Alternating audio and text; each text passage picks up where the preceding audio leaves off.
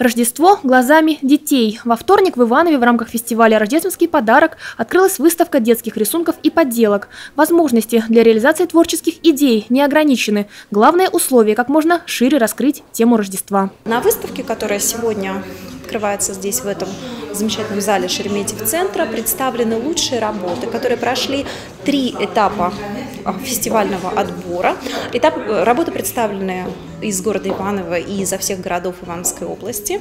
Всего на областной этап этой выставки было представлено 473 работы. В финальную экспозицию вошли всего 90 работ. Здесь и живопись, и графика. В декоративно-прикладном искусстве ребята использовали такие материалы, как дерево, глина, бисер, тестопластика. Вот эта работа выполнена в технике масляная живопись. Она стала победителем в номинации «Художественное творчество». На картине юной мастерицы абстрактные образы и яркие краски очень точно передают атмосферу рождественских колядок.